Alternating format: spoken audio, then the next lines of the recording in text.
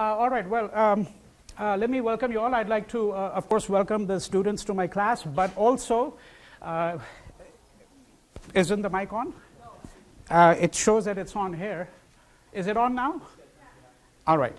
Yeah, so I, would like to uh, uh, welcome everyone else as well because this class is being held in conjunction with um, the Center for India and South Asia, which is uh, pleased to sponsor this event. Uh, it's my great privilege to uh, welcome to campus um, Anand Patwardhan. Uh, I think uh, it would be fair to say, uh, at least from my standpoint, that Anand is, I think, the most distinguished filmmaker we have in India working in the socialist tradition. he's been making films for as long as I can remember, close to five decades. Uh, and uh, the first of the films that uh, I can think of, which actually I haven't seen, I've seen a good, good portion of his work, uh, but it's a film um, which dates back to 1978 uh, called Prisoners of Conscience. Oh, I know there are earlier works, but the first film I can think of, yeah. Uh, it, it's, a film, it's a film that is essentially on political prisoners during the emergency uh, and for those of you who are in the class, you're going to hear about the emergency a great deal more as we move along. Uh, this is an emergency that was imposed in the uh, mid 1970s by the then Prime Minister Indira Gandhi, uh, who subsequently, some years later, was um, assassinated. Um, and then in 1981, um, uh, Anand went on to make a film which I have seen and I've actually taught in my diaspora class uh, called A Time to Rise, uh, which is a film on Canadian immigrant farm workers' efforts uh, to unionize um, in, in Canada, Indian immigrant workers to unionize in Canada. Uh, uh, and this was followed by a film in 1985. I'm just going to mention some of the films, not all of the films, and I think you'll pick up the thread. The thread, of course, in part is uh, that I think Anand has, throughout his career, worked um, on people, uh, made films about people who uh, have been in some ways at the margins, people who have been involved in struggles for what these days is called social justice. Uh, the films have to do with the nature of the political realities in India and, and uh, those who um, uh, do not have access, let's say, to uh, power in the ordinary sense of the term and therefore have to endeavor to create struggles from the ground up right? So I, I think that that's, uh, if, you, if you think of the titles that I'm enumerating, so the 1985 film uh, that I was alluding to is a film called Bombay, Our City, uh, Hamara Shahar. Uh, this is basically a city on urban slum dwellers uh, in, in Bombay. Um, and I think, again, it would be fair to say that many of the problems that are outlined and that are discussed and interpreted, uh, these persist down to the present day. the slum remains a distinctive uh, aspect of the socio-political reality um, of Indian life. Um, in 1992, um, I'm, new, I'm, skipping a couple of other films in between. In 1992, uh, he made a film called Ram Ke Naam, uh, in the no- name of God. Um, and in 1992, uh, we had uh, uh, what some people have described, in any case, as a watershed event in the history of modern India. Uh, we can date the death of secularism or the assault on secularism to an earlier period, perhaps. Perhaps the assassination of Gandhi himself uh, was um, uh, an attempt to uh, already shape a different kind of destiny for India when Gandhi was assassinated on 30th January 1948. Uh, but some people have highlighted the destruction of the mosque in Ayodhya, the Babri Masjid, uh, on 6 December. Uh, but this film was made before that. And in fact, actually, one of the priests, the Hindu uh, pujari, as it were, that, he, uh, that uh, Anand uh, interviewed at some length, was, if I recall correctly, assassinated uh, shortly thereafter. Um, and then in 1995, he, he made a long film. Um, I think this is also the period when I would say when the films start to get longer now. this was the first of the very long films. Uh, succeeded uh, by such films as Jang Aur Aman and others, which I'll talk about in just a moment. Uh, but this film in 1995 called Father, Son, and Holy War um, is a film that explores, among many other things, the cultures of masculinity uh, and uh, the relationship of those cultures of masculinity uh, to, to violence in India, to the project of Hindu nationalism. Uh, and it has some um, extraordinary scenes. I think that one of the things that I like about his body of work, his, his eye as an artist. so, one of the things that the films are, are able to do is they're able to to uh, bring to our attention uh, footage which I think is extraordinarily interesting. And sometimes, if you let the footage speak for itself, um, uh, you get a different impression. So, I recall, for example, in this film, um, a scene, uh, and I'm quite certain it was from this film. So, this is a couple uh, that are childless. Uh, and they, they, you know, they've longed for a child for a long period of time. and so they go to this uh, temple and they go to this priest and they're essentially they're told that if they recite the Rig Veda or portions of it, uh, that, the, that the vibrations from the chanting uh, will actually help the woman get pregnant. Right? Uh, and so, and I think that one of the interesting things here was the, the suggestion, which I think we should entertain very seriously and think about very seriously, uh, that this question of uh, Hindu extremism, for example, and the same could be argued for extremism in Islam or Christianity or whatever the case might be, but certainly with respect to Hindu extremism, uh, that I, I, think that there are people who would like to believe that this is a problem of uh, the lower classes, the working classes, the uneducated. Quite to the contrary. What, what this, for example, this clip suggested very clearly was um, that the educated are also complicit. In fact, actually, at least uh, according to the scholarly work I've seen over the course of the last three decades, uh, communalism uh, has been fundamentally a problem, an urban problem for a long time.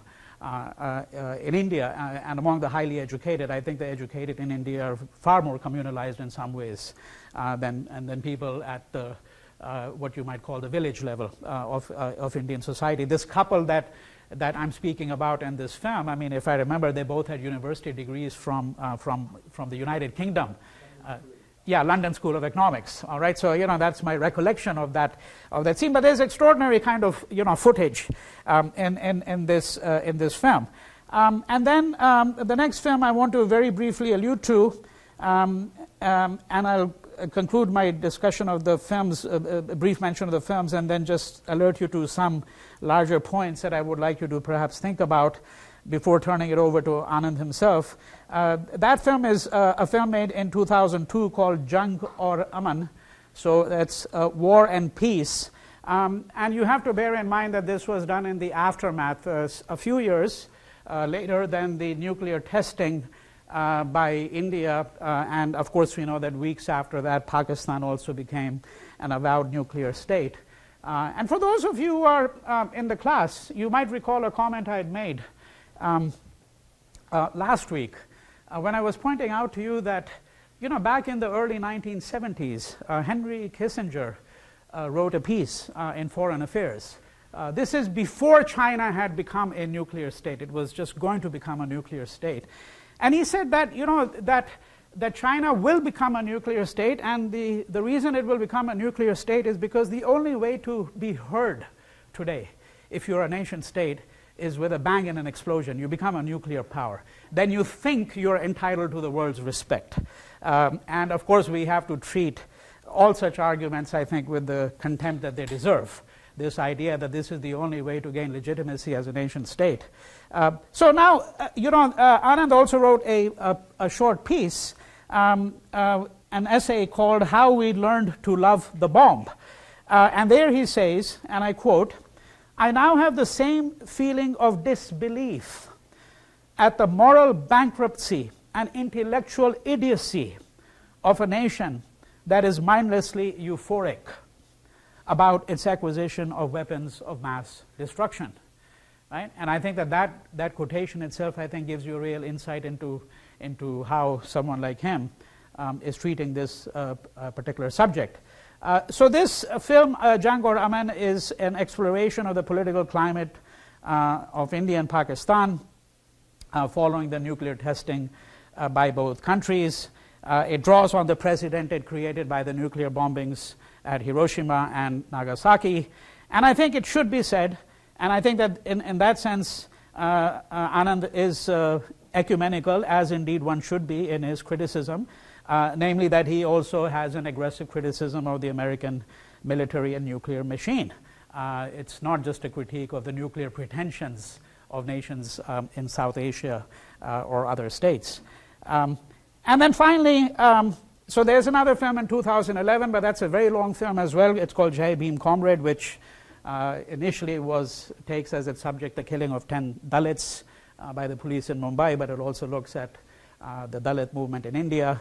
Um, uh, and then finally, there's a film that was just screened uh, at IFFLA, uh, the Indian Film Festival of Los Angeles, a couple of days ago, called Reason, which, which comes in at an reasonable or unreasonable four hours in length.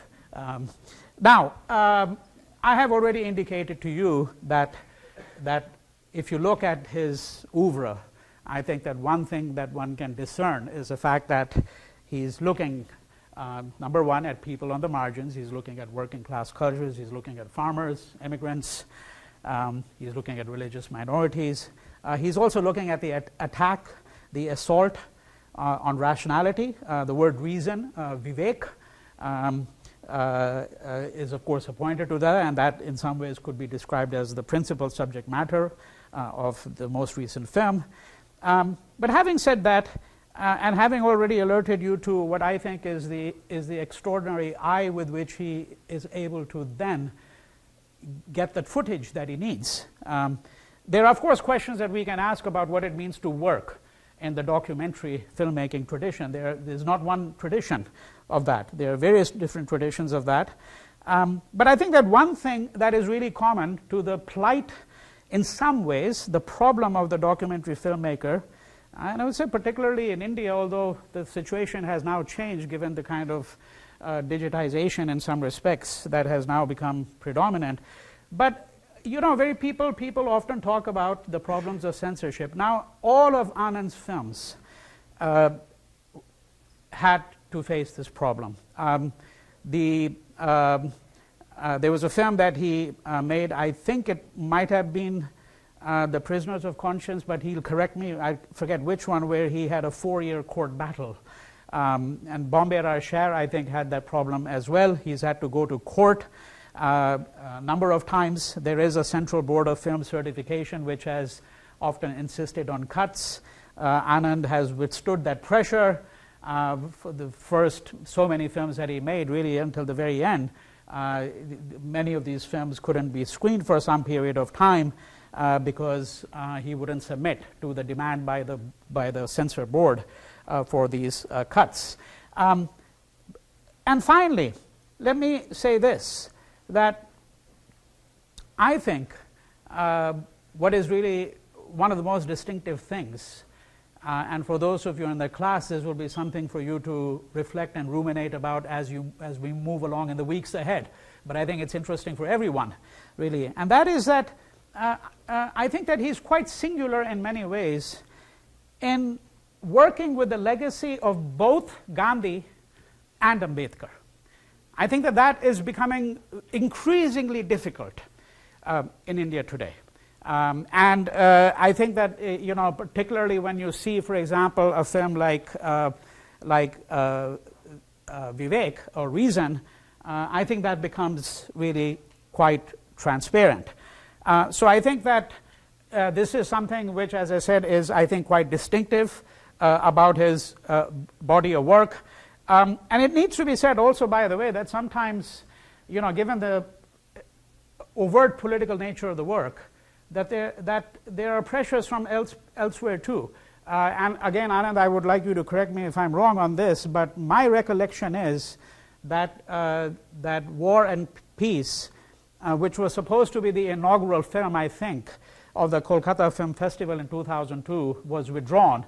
And that I think the American Museum of Natural History uh, in New York, which was going to do a screening of this film and perhaps some other films by Anand actually also succumbed to political pressure and didn't do those screenings. Am I correct in that? Okay, in the name of God. All right. But I, I, I couldn't remember the exact detail, but I, I, I, have a fairly good recollection of that having happened. So, anyhow, without further ado, uh, please join me in welcoming Anand Patwardhan.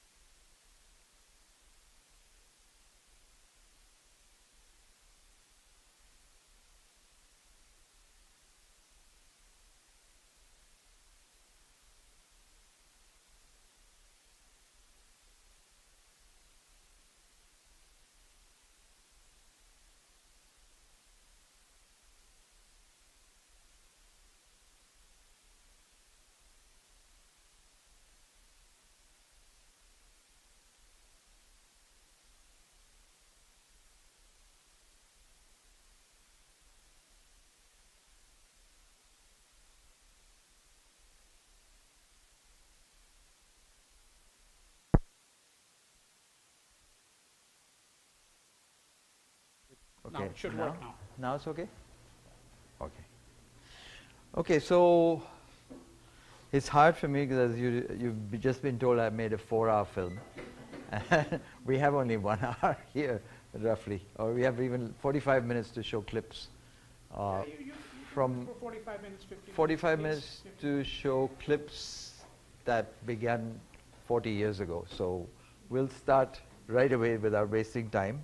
And what I thought we would do, except that it's a little more uh, difficult to control the timing, is to have short discussion as after you see the clips. I might show two clips in a row of two films, and then break, and we can have a quick chat about that and move on. We won't have, we won't dwell on it for too long because then we'd have a larger discussion at the very end.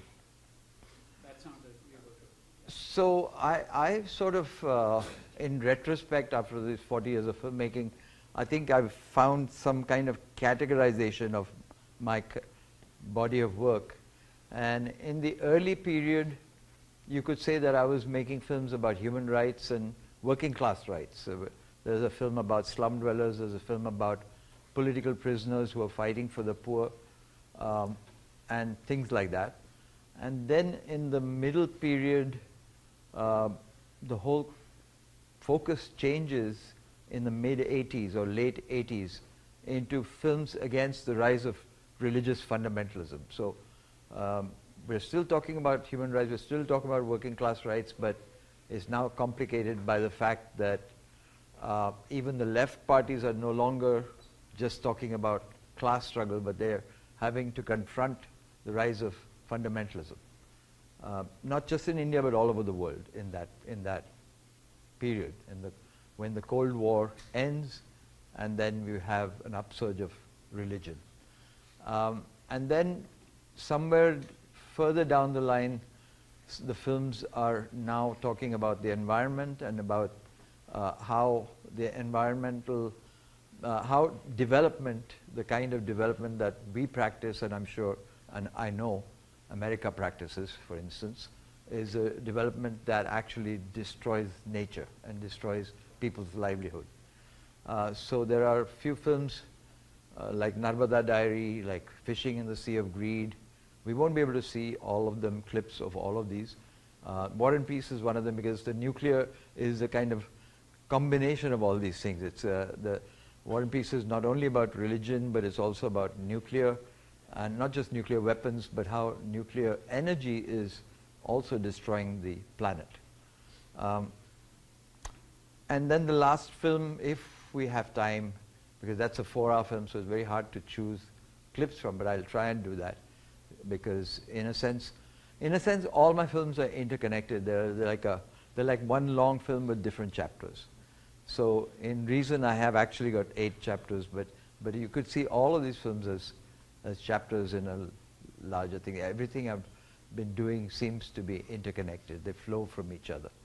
Um, and we'll also show a clip from Bhim Comrade, which is the film on the Dalit movement. Okay, so let's move. Uh,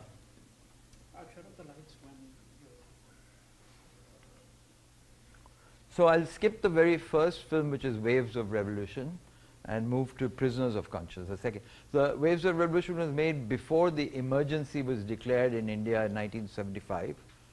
And it was a movement that made, uh, made Indira Gandhi's government declare emergency to, to shut down the opposition forces that were growing. And, uh, but we'll skip that and we come to the very next film, which, which was made as soon as the emergency ended, which was talking about the political prisoners that had been put in jail during emergency, before emergency, and after emergency. Is from 1975 to 1977.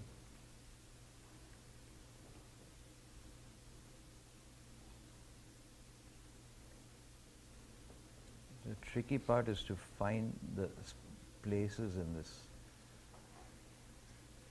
Yeah, here we go.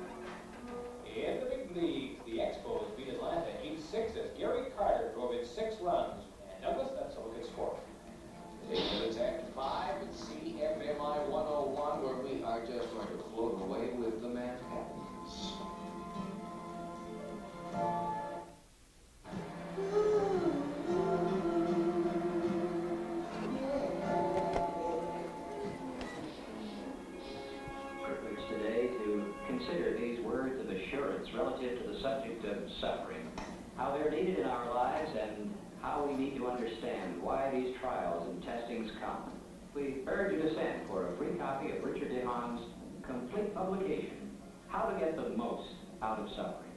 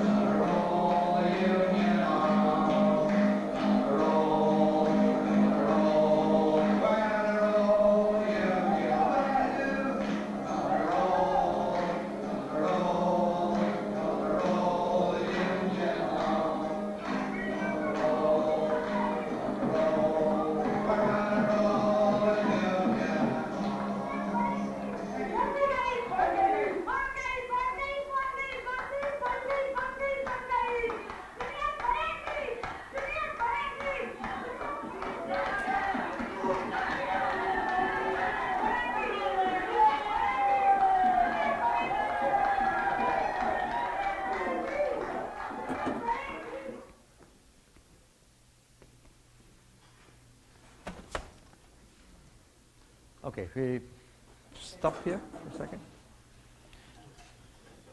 Uh, you can. Yes, Shall I give you some? me, no? Yeah, let me let me put my think it'll phone on. Yeah. Okay, somebody else did that. Yeah, all right. Okay. Who who did that? Because if you're going to do it, please I- do it. Did right- it. Oh, you did it. Okay. Okay. So Yeah. Okay. So, um, yeah, so if, are there any, is there anything somebody wants to know more about what you just saw? Because they're two totally different films, different countries even. Yeah. Do you think Indira Gandhi was completely cynical in why she brought forth the emergency, or do you think that she genuinely had convinced herself that these threats were real and that these were necessary and morally permissible responses? Um, because we're short of time, I won't go very deep into it, but I have thought about it. I was, I was part of a movement that wanted to overthrow her because we were, we were young students in the Bihar movement, a nonviolent movement for student rights as well as for people's, uh, people fighting against corruption. And um, when uh, Indira Gandhi was threatened by that movement and finally declared emergency uh, to suppress that movement. And all the people, many of the people that I was filming went underground or went to jail. And I escaped to Canada to put the film together and, and start showing it against the emergency. But in retrospect, I look at what's happening in India right now.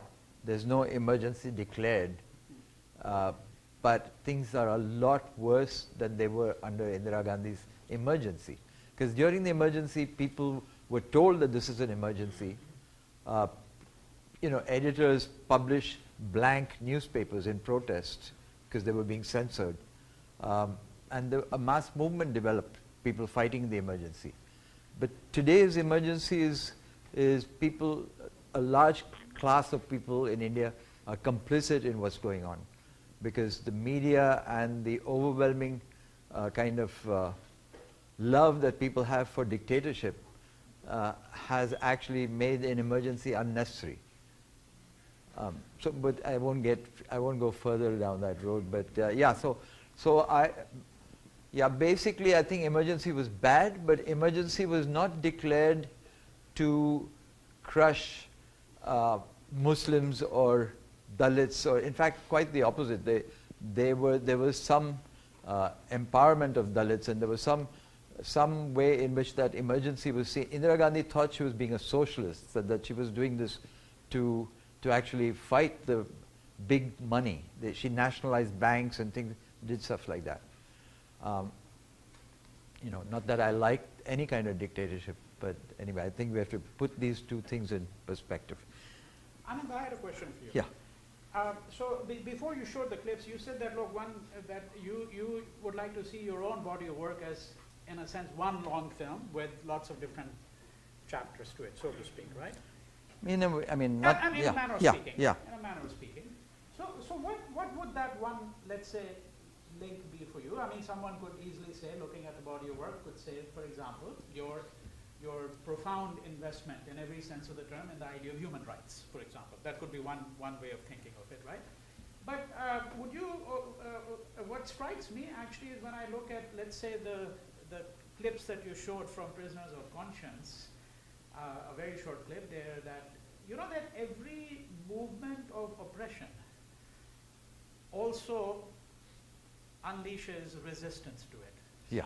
And I think, I think it's important to remember that, to keep that in mind. And I think that that's what, that's where I see the continuity between prisoners of conscience and reason, where despite the assault on, on rationality, forces of rationality, that their demonstrations, and it was very interesting, the little clip that you showed was a demonstration, people marching. Yeah. You know, because I think that we could understand the whole history of humankind as what? I mean, it's a history of constant struggle for liberation from oppression. Yeah, and So that might be one possible thread, right? yeah, yeah, and, and I, in a, in a sense, I owe it to America that I became radicalized during the Vietnam War movement because I was a student in, on the East Coast, and my university and, and Berkeley were the two centers that coordinated the anti-war effort. And I first went to jail in my life in America and not in India, fighting the Vietnam War. And, and so I, I guess that was part of what made me become a filmmaker eventually, was to, to help these movements grow. The East Coast Institution, Columbia, you're referring to? I was at Brandeis Brandeis. near in Boston, along with Abbie Hoffman and Jerry Rubin and Angela Davis and Herbert Marcuse. So, so that was a good time to be here. Okay. Any, Yeah. any further questions? Um, So, uh, did you have difficulty shooting the scenes where the police is actually arresting the protesters? Because they would want, uh, like, you know, how much of, of, like, you know, separation of that sort of... During the emergency, Yeah. I actually didn't shoot that bit myself. Uh, I, it, that was shot by a TV cameraman, but he wasn't allowed to use it in, in the emergency, and he gave it to me. So, because I was willing to use it. So, but but he was yeah. So in those in the, uh, that was just when the emergency was declared. It was almost the first first or second day of the emergency, and people were protesting and being herded into police vans. Uh, subsequently, you won't see footage like that because after that they cracked down on the on the journalists and the camera people. Uh, yeah, at the back. Was there any connection between the farm workers in Canada and UFW? Uh, yes, yeah. Actually, if you see the whole film, uh, Time to Rise, um, I, I actually at the end of my studies at Brandeis, I came and worked in California with the farm worker with, Cha- with Chavez. I was a volunteer in the United Farm Workers Movement, and so I knew Cesar Chavez. And in fact, when we were working with the Canadian farm workers of Indian origin, we invited Chavez to come to Canada. So he's also in my film. Uh, so briefly. Um, but yeah, there is a connection in the sense that they were sister organizations. They were not organ- they were not connected directly. They were just the same kind of struggle. And the Canadian farm workers learned a lot from the experience of the American farm workers. Okay, so we shouldn't get stuck to yeah. Um, okay, the next well, you, we'll just show two clips at a time, even if they're disparate films, and and then we'll break because that's more efficient than putting the lights on for every film. Okay. So now it's Bombay Our City. It's 1982.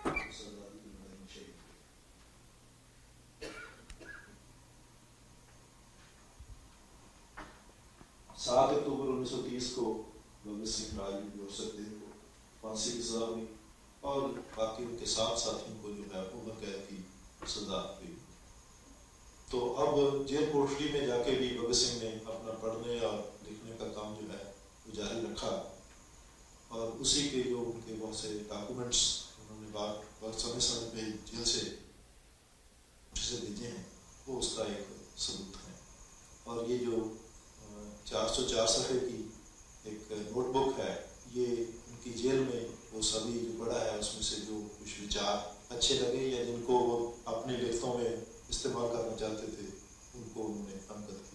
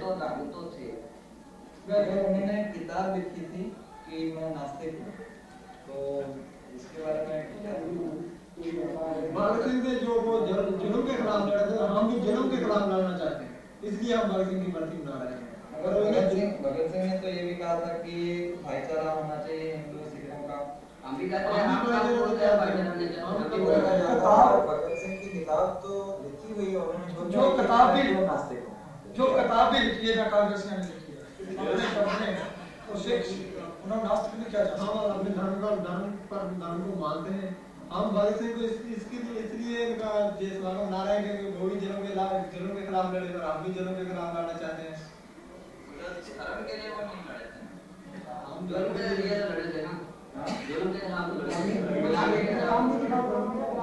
तो लड़े थे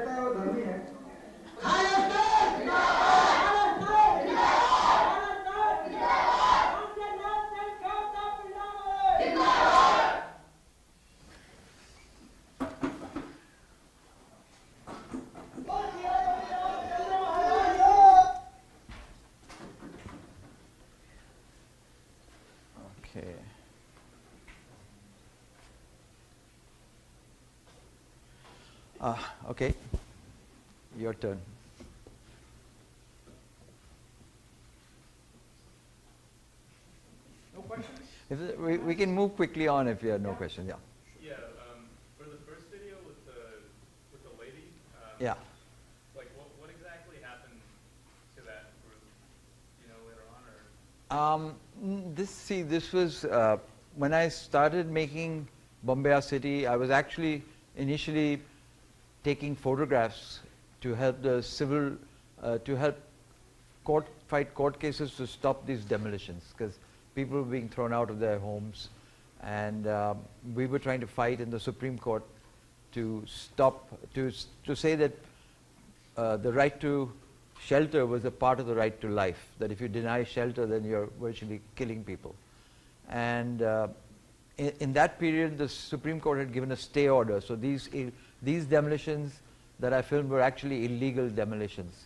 Um, but when I went to these slums for the first time, they didn't know who I was or what, what I was doing it for. And so her reaction was a natural response of anger. I mean, you're just exploiting us by taking pictures.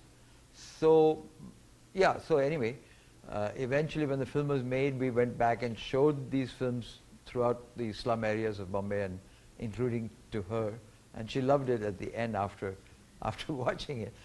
So her, her anger was, was at that time legitimate. I don't know if that's the question you asked, but Yeah. Yeah. You answered it. okay. Where, where did they end up going? Uh, they, Eh, the people who are demolished? Yeah.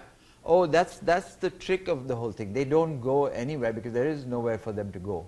I mean, the government tried even to sometimes send them back to the countryside where they came from. And they, most of these workers came because there was some kind of building project or they were construction labor or they were, they were brought to do a job and then there was no more job left and they were just stuck there with, they couldn't go back.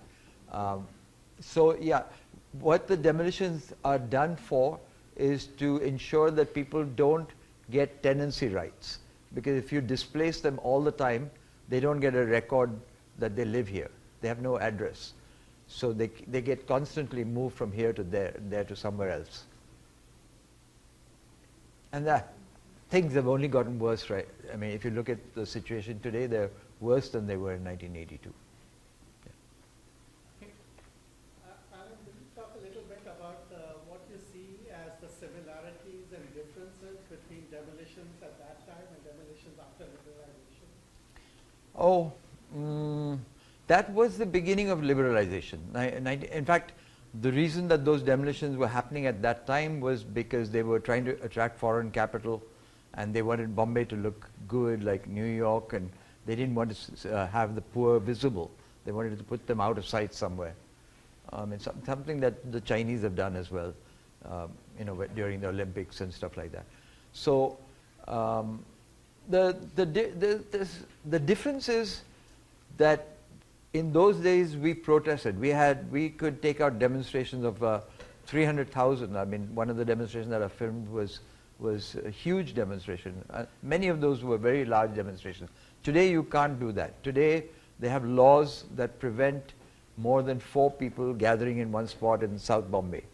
Like there's only one designated corner of a field called, ironically called Azad Maidan, where people are azad to go and demonstrate that because nobody else is watching. They're, they're hidden away in a, in a place where nobody goes except the demonstrators.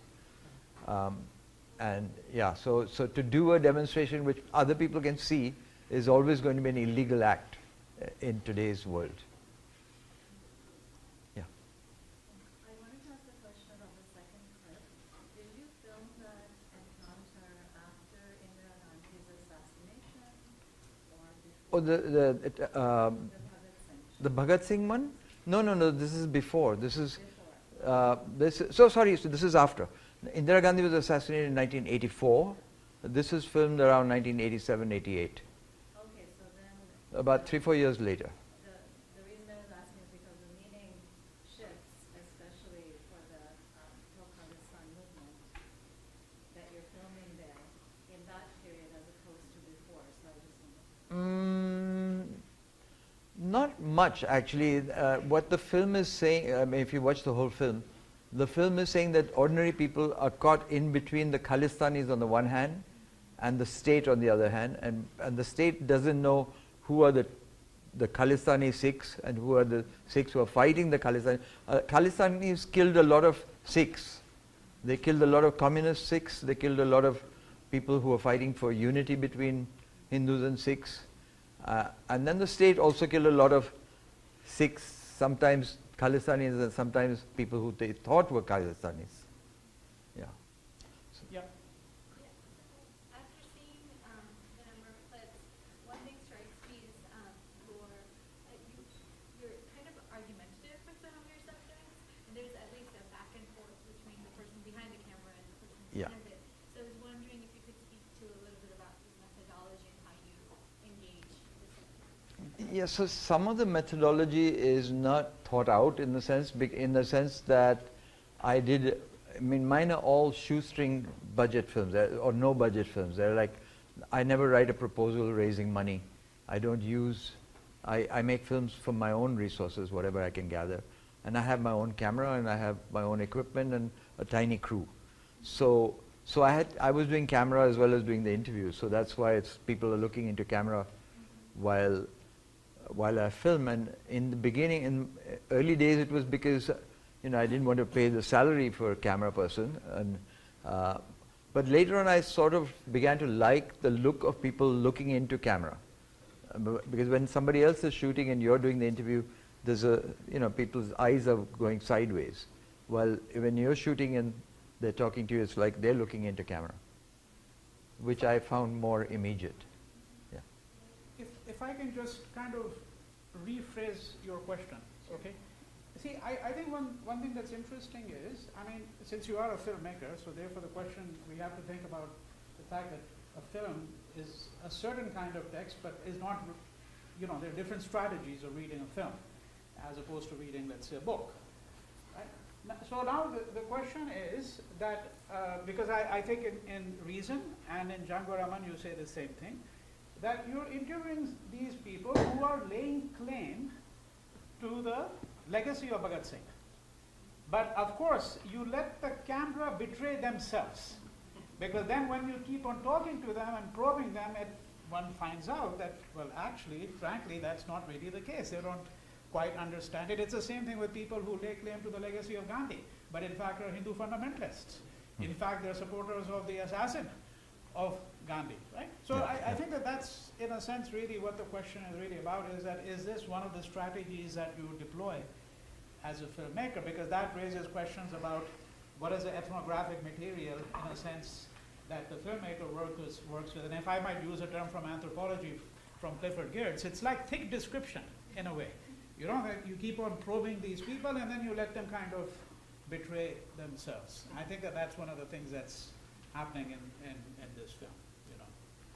Yeah, actually, my explanation is a bit simpler, and that is that no, in the, in the sense that I, I, I sometimes when I'm filming and, and recording, I, I get irritated with the answer, and then sometimes that irritation shows.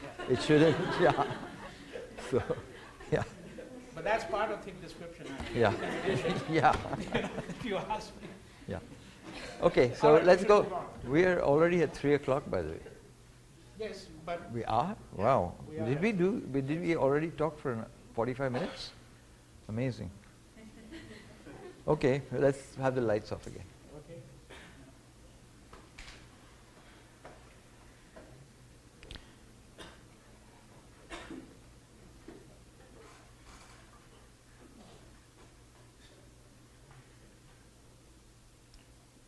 Okay.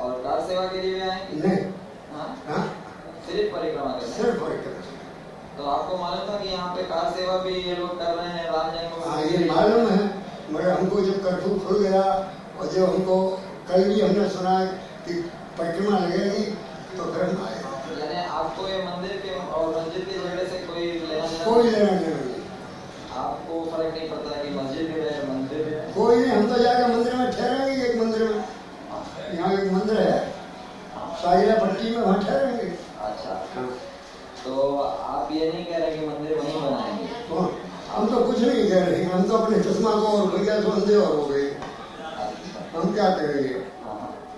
तो चलिए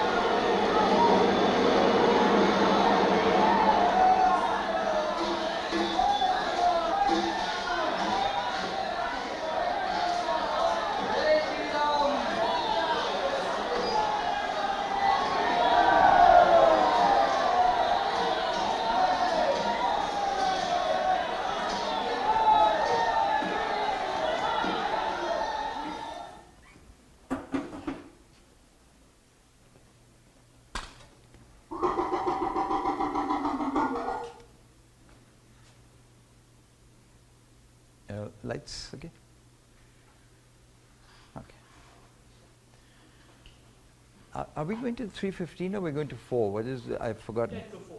10 to 4, okay. All right. Okay, so two more clips. Just re- remember that uh, I suspect a good number of people will leave at three. Yeah, yeah, that, yeah, yeah, sure. Yeah. Uh, so I don't know if this is a simple question, but I was just wondering if the uh, Tachi caste that um, demonstrator was mentioning that he belongs to, is that like a particularly high caste? or- It's a mid, middle class. It's a it's a trader class. So it's like a a step down the the highest. But they are they ally with them, themselves with the higher castes. Yeah. Ross? I actually wanted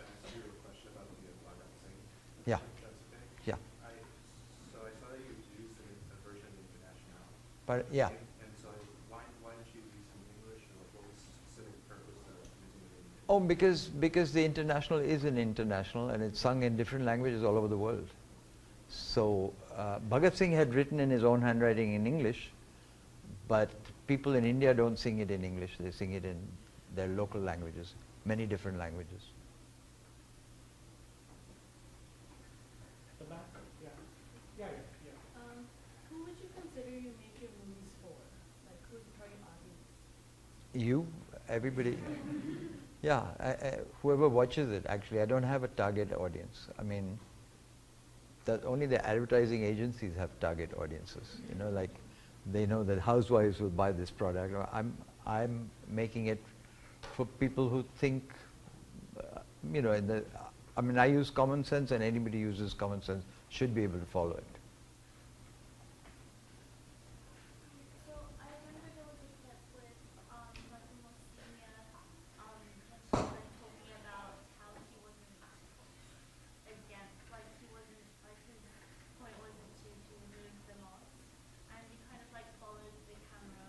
Ah, yeah. And, and then um, uh, someone in uniform was like, helping him yeah. Yeah so in those days the cop for that brief moment in time the cops were on the right side um, because the, the cops were actually supposed to be preventing the mosque from being demolished.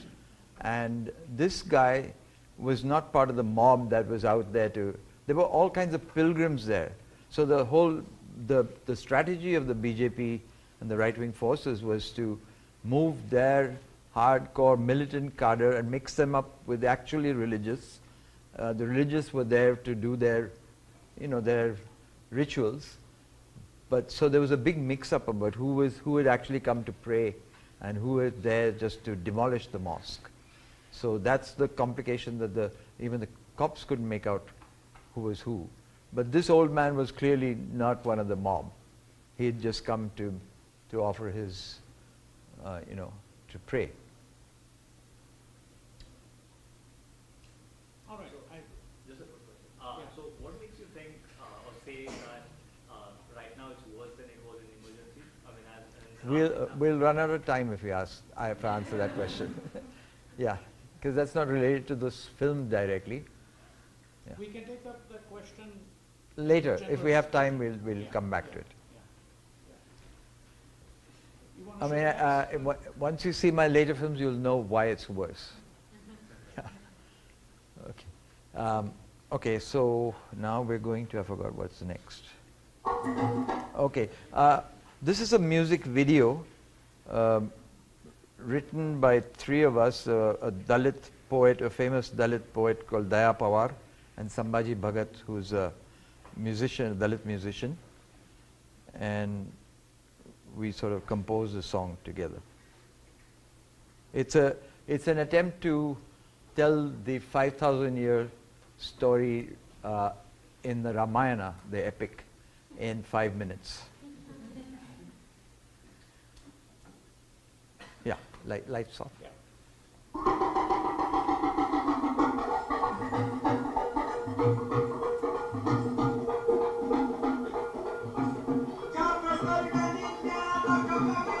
Oh shit. I'm, I'm sorry. Sorry, I, I hid the subtitles.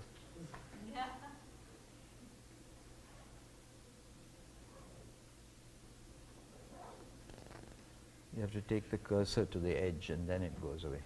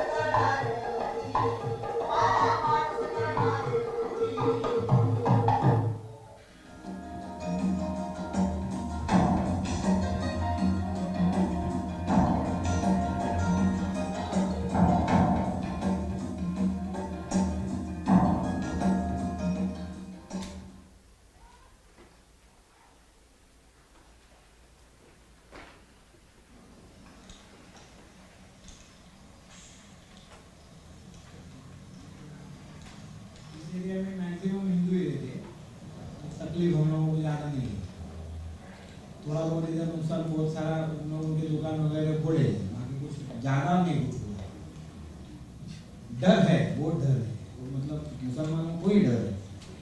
या अपने इलाके के हिसाब से बोलना, अपने भगवान के लिए हुआ भगवान का ऐसा मंजूर था, ऐसा हो गया क्या कर सकते हैं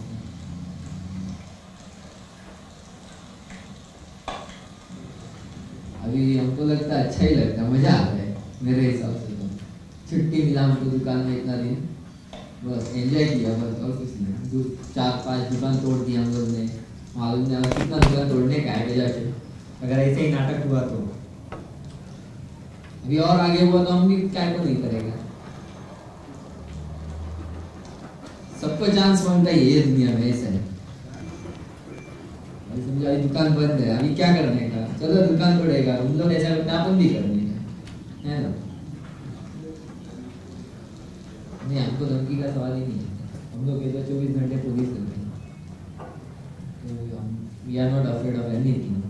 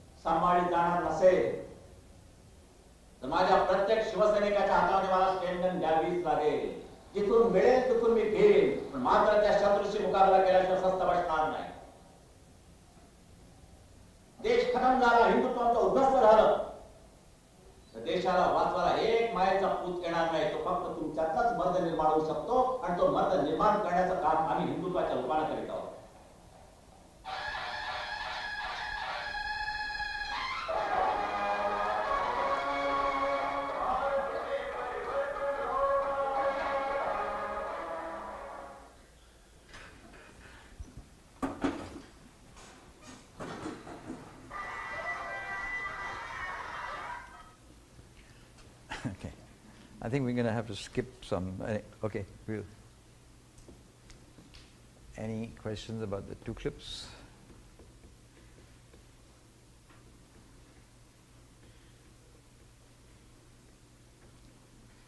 Yeah.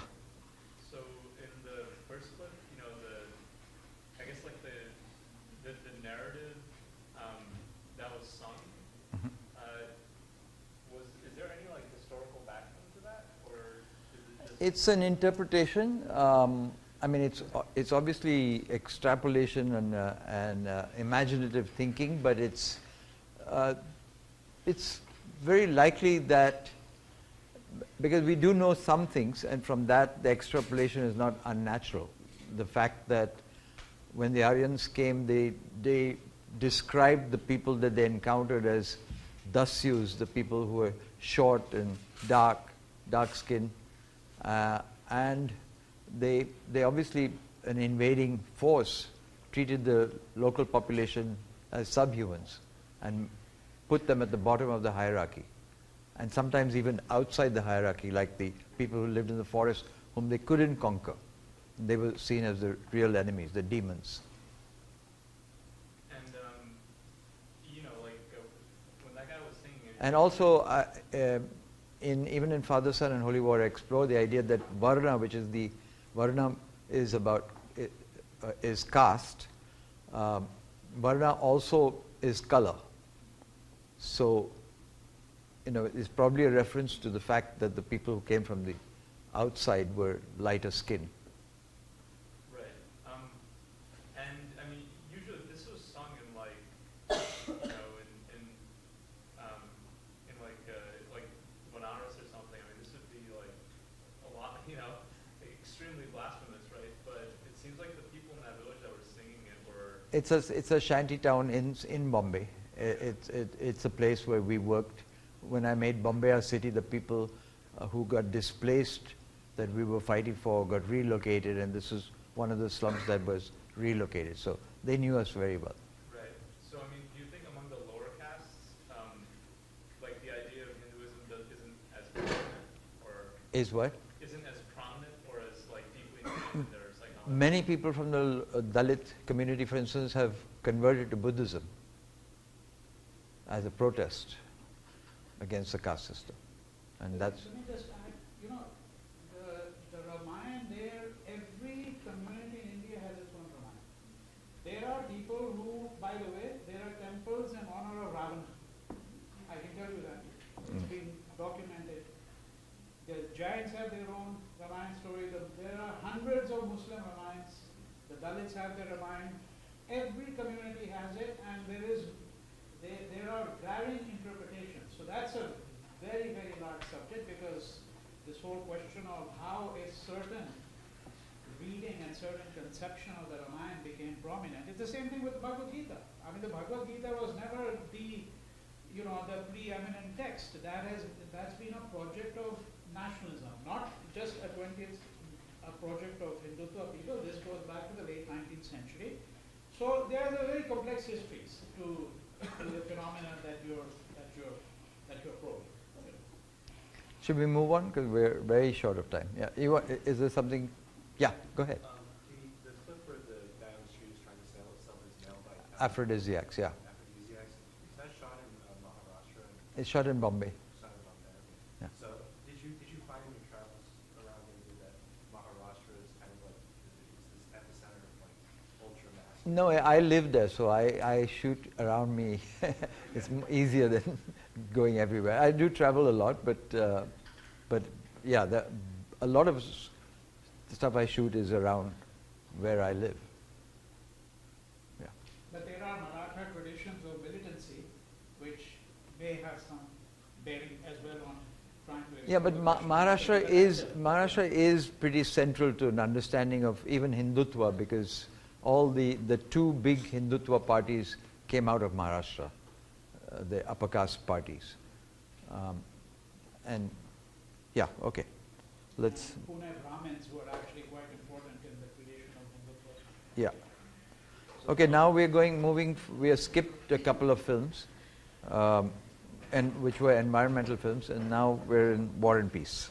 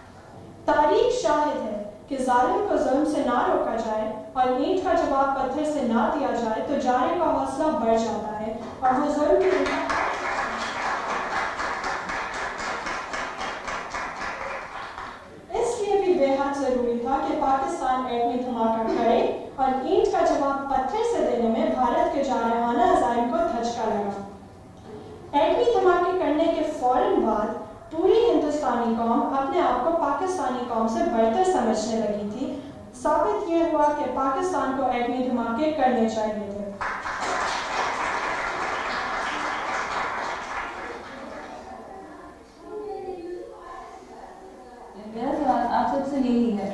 क्या हमें धमाके करने चाहिए थे या कि नहीं? थी आप क्या बेहतर समझती हैं क्यों नहीं करनी चाहिए थे? क्योंकि पाकिस्तान भी डेवलप नहीं है इंडिया भी अभी इतना डेवलप नहीं हुआ है And that's just a waste of resources. India ने खुद ही क्यों बॉम्ब ब्लास्ट किया कि उसने पाकिस्तान को फिर वो फिर पाकिस्तान ने भी करना ही था पाकिस्तान ने जो किया उसके खिलाफ मैं नहीं बोलना चाहता हूँ क्योंकि वो मैं समझता हूँ कि आप बोल सकती हैं। मैं अपने बम के खिलाफ ज़रूर बोलूँगा कि हमारे देश ने जो किया वो कभी नहीं होना चाहिए था। और ये आपको सोचने की बात है कि ये आपके देश ने जो किया वो क्या सही किया कि नहीं? पचास साल के बाद पाकिस्तान का भी हाल है। बुनियादी सहूलतें नहीं है, पानी नहीं होता, खाना नहीं होता। हम क्या किस तरह सोच सकते हैं एटम बम के बारे में, जब ऐसी चीज़ें, ऐसी छोटी छोटी चीज़ें आप लोगों के पास नहीं है? लोग कत्ल कर रहे हैं। लुक एट कराची में आई मीन पच्चीस हज़ार लोग उधर मर चुके हैं आई मीन आउटसाइड थ्रेट तो कुछ नहीं करें अंदर से खुद ही अपने आप को मार देंगे। खुद ही हमारे में भी सो मच फिरका वारियत इतनी टेररिज्म है। मैं इंडिया में भी घूमा हूँ कैमरा लेके, और पाकिस्तान में भी एक दो दिन तो घुमा ही हूँ। और मैंने आम लोगों से बातचीत करने की भी कोशिश की मैंने ये पाया कि आम लोग बिल्कुल खुश हो जाते हैं जब मैं बताता हूँ कि मैं भारत से आया। कहते हैं मुझे इतनी फ्रेंडशिप मिली है एक दो दिनों में कि मैं बता नहीं सकता। और ये आम लोगों से ये एलिट से नहीं मैम कहीं टेलीफोन वाला हो कहीं बस वाला हो। अच्छा ये ऑर्थोडॉक्स लोगों के साथ भी है। अच्छा जो आप बोल रहे थे जो जो आपने डिबेट में कहा और जो बाद में कहा उसमें इतना फ़र्क कैसे हो गया? जब आपने सोचा कि मैं डिबेट करूँगी तो इसके बारे में आपने कैसे तय किया कि मैं प्रो रहूँगी जिसमें ज़्यादा वो है। ज़्यादा पॉइंट्स मिलेंगे। जिसमें ज़्यादा जोश लगेगा। और जो जितवाएगा हमें। मेजॉरिटी जिसमें अभी भाई आप उसी टॉपिक को लेंगे। तो इसलिए। तो सोचिए इसके बारे में गहराई से सोचिए कि हमारे जो पॉलिटिशियंस हैं ये भी आपकी तरह सोचते हैं। अगर आप तो जो जितवाएगा जिसमें ज़्यादा जोश है उसी को मैं बोलूँगा। नहीं तो हम मान लेते हैं ये नहीं करना चाहिए था। पॉलिटिशियंस को भी यही कहूँगी कि वो गलत है उनको सही करना चाहिए। अगर वैसे आप हमारे किसी भी पॉलिटिशियन से मिलेंगे तो वो कभी वो बात नहीं करेंगे कि जो वो करते हैं टीवी पे करते हैं अपनी तरफ़ से बहुत बनते हैं कि वो, वो कि वो भारत के खिलाफ जो बोलते हैं। और भारत में भी यही होता है। लोग भड़काऊ भाषा क्यों अपनाते हैं? क्योंकि उससे उनको लगता है कि इसमें जोश है इसमें जल्दी पॉपुलैरिटी मिलेगी।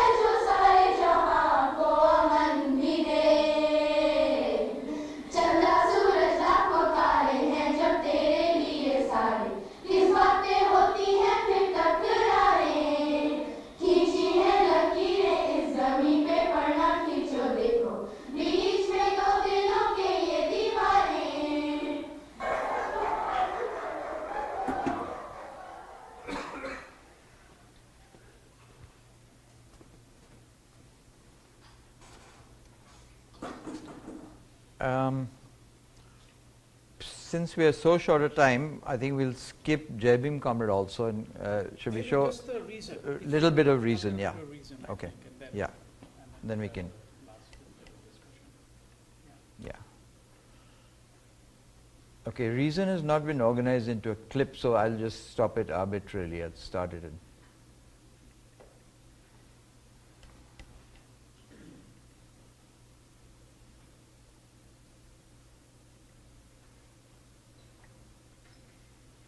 Lights again.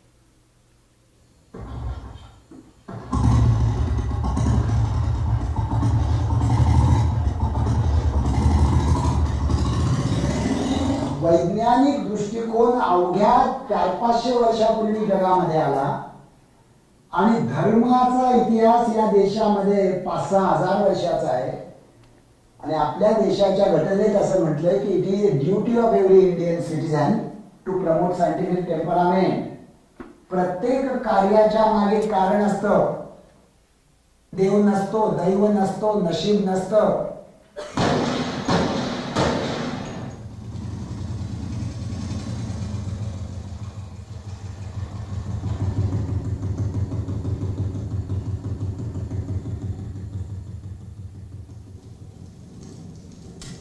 The battle between faith and reason.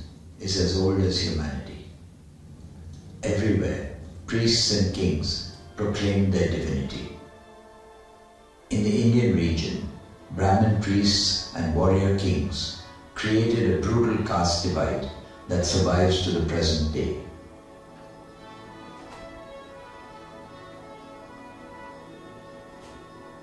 Division was a British colonialist. After the First War of Independence in 1857, when Hindus and Muslims united and almost defeated the British, divide and rule became official policy. But emancipatory ideas from the Enlightenment and rationalist humanist traditions dating back to the Buddha kindled aspirations for freedom. In 1885, the Indian was born. With the arrival of Mohandas Gandhi, workers and peasants, Hindus and Muslims joined the fray. Caste privilege came under attack by reformers like Mahatma Phule and later Dr. Ambedkar. Socialist ideas from the French and Russian revolutions were also in the air. For the princely classes and religious elites, the alarm bells were ringing. With British approval, they posed a religio nationalist challenge to the growing independence movement. In 1906, the Muslim League was formed, followed by two Brahmin led bodies, the Hindu Mahasabha and the Rashtriya Swayamsevak Sangh, the RSS. All three sided with the British during the 1942 Quit India movement. All three agreed that Hindus and Muslims could not coexist in a single secular nation. The British, in turn, uh, by allowing only Muslims with property to vote on the question of Pakistan, ensured the partition of India. Yet, in 1947, even after the bloodbath of partition, both India and Pakistan emerged as secular states. It took another world power in the 1970s to help create the religious nation. Islamic Jihad had become a tool to fight communism.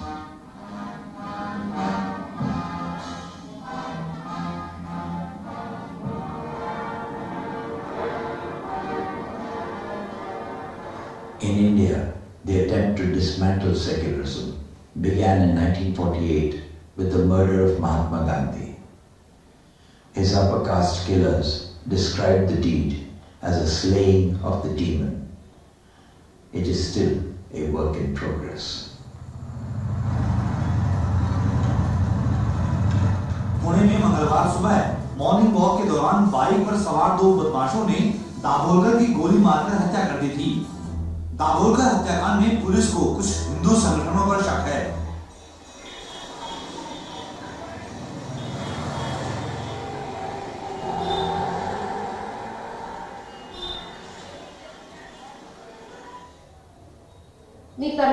कर्नाटकातली होते. आणि मी सुखात जवळ होते. मला लग्न हा विचार डोक्यात कधीच आला नव्हता. आपण काम करायचं एवढंच मला माहिती होतं. तेव्हा माझ्या आईची मैत्रीण होती. ती म्हटली माझा एक दीर आहे असा असा. मी आणि डॉक्टर आज मी या हॉलमध्ये उभी आणि तिथेच आम्ही भेटलो. आणि मग आमची बोलणी झाली. ह्या महान माणसाने मला पहिला प्रश्न काय विचारावा? तुला सिझेरियन करता येतं का? हा प्रश्न विचारला. मला कळेच ना की ठरवायला आली आहे. का मी एम बी बी एसचा एक इंटरव्ह्यू देते आणि मला एक नोकरी हवी आहे तर ते म्हटले लग्न झाल्यावर तुला एकटीलाच काम करावं लागेल. मला एका चळवळीत काम करायचं आहे म्हणजे तुला काय पाहिजे हा प्रश्नच विचारला गेला नाही मला. आणि नंतर मी आईला लगेच म्हटलं की ह्या या माणसाची बायको ब्रह्मदेवाने जन्माला घालायचे. मी काय हे लग्न करणार नाही. तेव्हा मोडलं लग्न. त्याच्यानंतर एक वर्षभर मी पाहिलं मला आयडियालिझम असलेला माणूस मिळतो का म्हणून. तर मला कुठेही आयडियालिझम असलेला माणूस नाही भेटला. मी तपाची शक्ती प्राप्त झाली. त्यामुळे मी हा त्रिशूळ वापरतोय.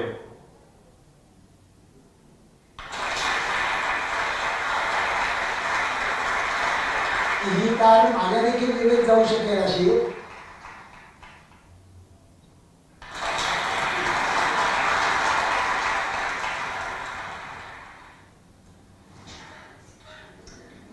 ती तुमच्यापैकी कुणाच्याही जिभेमध्ये जाऊ शकेल कारण आम्ही तार जिभेत घालत नाही जीभ तारेत घालतो.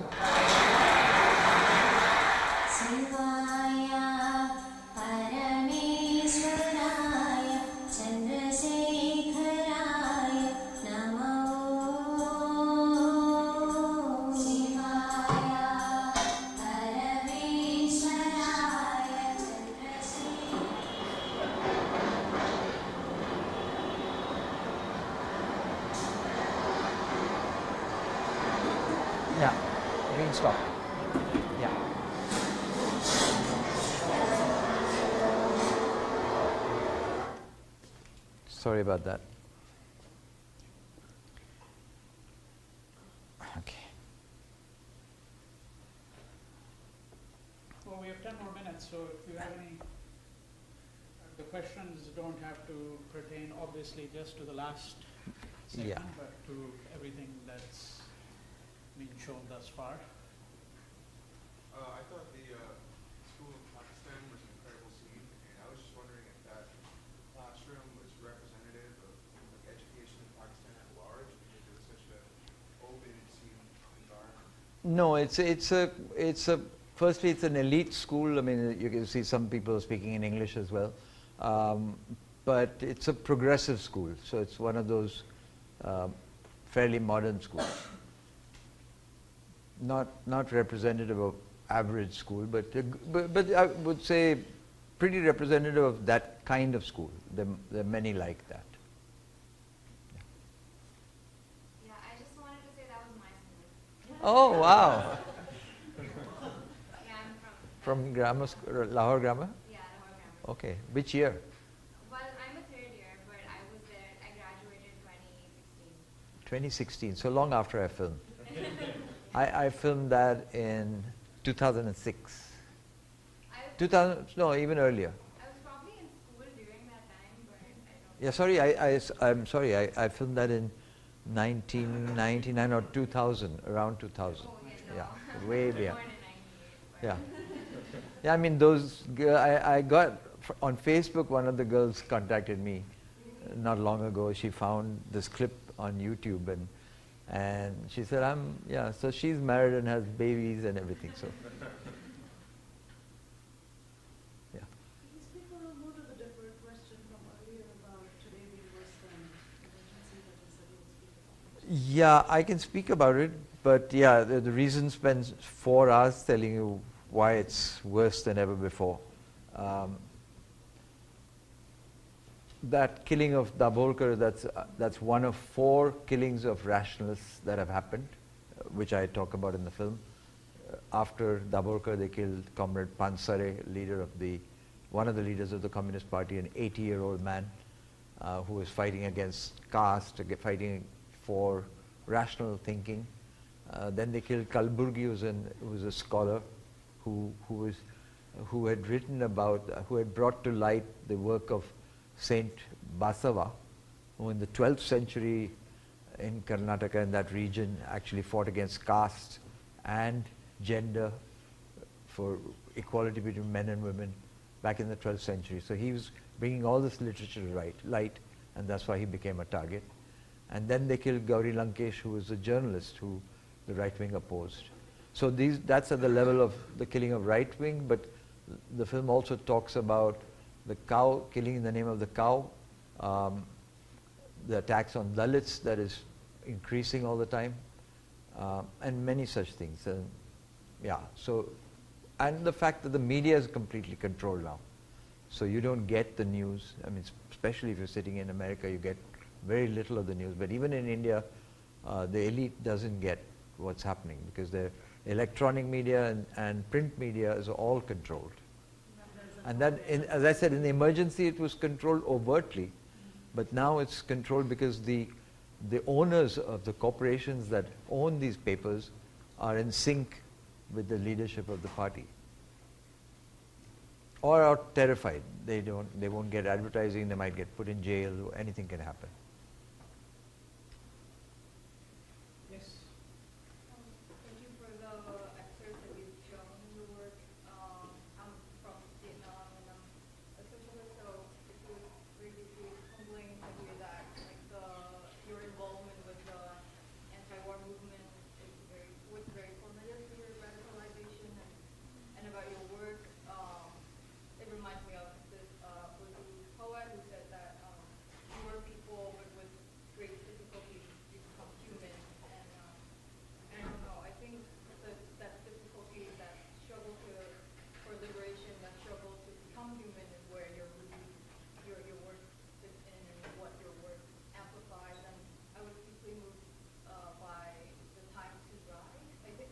Yeah. the, uh, the, the About the farm workers. Yes, Yeah. the Vancouver farm workers Yeah. um, were fighting for a union, and I was, I was, I don't know, I was wondering like what was the interaction, uh, the solidarity between the peasant movement in, in India, in India then, and um, particularly with the with those farm workers, uh, what what those farm workers would would, would think or say about um, like the massive waves of waves of um, peasant uh, peasant uprising we see in the uh, Kisan Sabha march in uh, 2018, and then um, and lastly, like, what is your what is your next? Uh, are, do you do you plan to um, like make a movie about the movement in India that, that you grew up in, in India? Yeah, well, First, thank you for your comment. Um, I don't know the answer to uh, what the farm workers today in Canada think about what's happening in India and if they're directly related. I would think that the, the newer generations that come are directly related, but some of them who've been in Canada for decades may not be directly connected so, so well. Um, and um, some of them also become upwardly mobile and they're no longer workers, but they might become owners or contractors, and then would, their class interest changes. And also, uh, a difference between when I was filming in the 80s in Canada was a time when unions were already under attack. It was very hard to form a union. That was the first Canadian uh, union that was formed for farm workers. Uh, now it's much more hard to form a union. And, the unions are under attack everywhere in North America and India. So a liberalization process has destroyed uh, unionization. Yes. So you definitely like you've obviously seen like so much happen, like so many people resisting author- like authority over you know decades. What advice can you offer to like young people today, both in India and the United States, trying to resist authority and fight authoritarianism? Well, don't get beaten down. Is all I can say because, because yeah, there are times when you feel like nothing you do actually makes a difference because the the odds are so much against you. Um, the right wing is so much in control and in power, and it doesn't feel like there's any way to end that. Um, but I think that history moves in cycles and nothing stays the same, and and there will be a time, and probably not in the distant future, where people will reassert themselves and wrest the power back from the corporates that now have it. And and the world, I mean, it's not sustainable, obviously, what the corporates are doing. The planet is not going to last more than 25, 30 years.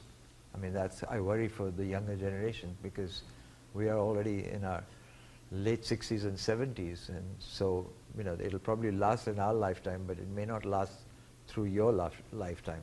So if this corporate class is not put into check by people's movements and people's movements that is conscious of the environment, not just people, not just the traditional left that didn't worry about the environment because they had the same, uh, the same development model as the capitalists did. So they were both raping the environment.